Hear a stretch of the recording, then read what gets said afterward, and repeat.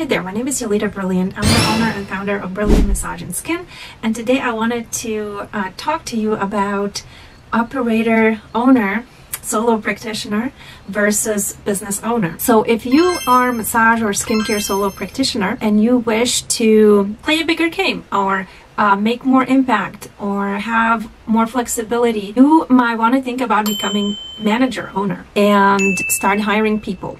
But you have to decide what is your passion. Is your passion to be in the treatment room or is your passion business and running business and growing a business, marketing, sales? Because that is two different things. Being in the in the same industry but different duties.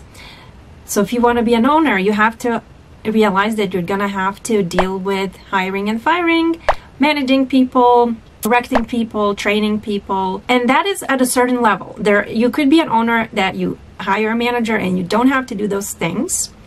So it also there's different levels of business ownerships. But if you want to start learning yourself all those tasks and start hiring and start smaller from smaller to growing bigger you probably will have to go through those phases where you have to learn how to do those things yourself unless like i said if you uh, have more money that you can invest into the business. You could hire a manager right off the bat. And then you know hire yes. enough therapists and have enough profit where you can have that manager salary. There's different ways to do it and different systems and different processes. For example we have our own processes here at brilliant massage and skin and we offer support. If you want to become a business owner instead of solo operator, entrepreneur, but you don't know how. Finding a franchise might be an option. There's financing available. Usually you only need 20% down because if you're going to have a bigger business, you will need a bigger location. You will need more treatment rooms. You might need to do some build out.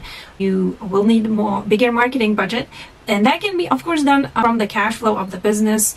Like I said, you could start smaller and then grow, grow bigger, maybe open multiple locations, but you have to be willing to understand business, learn sales, marketing.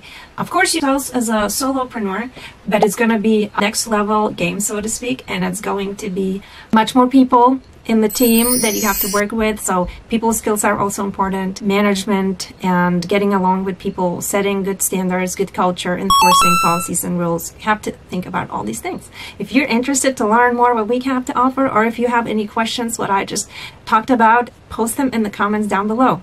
Are you a solopreneur operator or do you want to grow business?